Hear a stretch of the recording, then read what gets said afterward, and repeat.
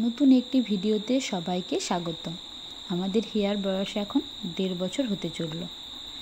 এই সুইমিং পুলটা ওর পাপা ওকে বার্থডেতে দিয়েছিল। এক বছরের বার্থডেতে কেনা হয়েছিল।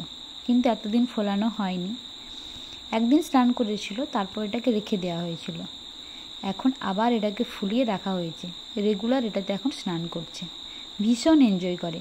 এমনিতেই ও জলকে ভীষণ ভালোবাসে। দেড় বছর বয়সে একদিনও পর্যন্ত স্নানে বাদ নেই। তিন চার ডিগ্রি টেম্পারেচারে আমরা ঘুরতে গিয়েছিলাম শীতকালে। সেখানে গিয়েও পর্যন্ত সে স্নান করেছে। আবার কি? বিকেল সাড়ে পাঁচটার সময়। মোটামুটি ও আজ আজ পর্যন্ত একদিনও স্নান বন্ধ করেনি। জলের প্রতি একটা আলাদাই ভালোবাসা আছে, যেটা আমি সবসময় বুঝতে পারি। কখনো ভাত খাচ্ছে না, তো এক মুখ জল দিয়ে বসিয়ে দিই। বা কখনো কিছু খাওয়াচ্ছি, খাচ্ছে না। বোতলে জল দিয়ে বসিয়ে দিলাম। জল নিয়ে খেলতে খেলতেই তার ভাত খাওয়া হয়ে যায়। জলের প্রতি যেন একটা আলাদাই টান আছে। যাই হোক, তো জলকে নিয়ে প্রতিটা বাচ্চাই ভালোবাসে।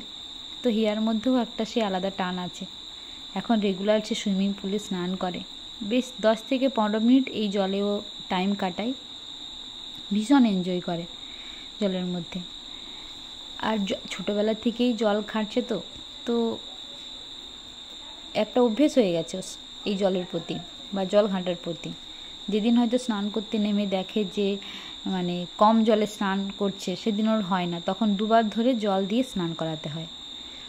এইভাবেই ধীরে ধীরে বড় হয়ে উঠছে। ছোট ছোট ভিডিওগুলো এইভাবেই আমি ক্যাপচার করে রাখি। তোমাদের যদি অতি অবশ্যই ভালো লাগে, একটা লাইক, শেয়ার, কমেন্ট, সাবস্ক্রাইব করে দিও। সাথে ইয়ার হিয়ার এই অ্যাক্টিভিটিগুলো কেমন লাগে তোমাদের, অতি অবশ্যই কমেন্ট করে জানিও।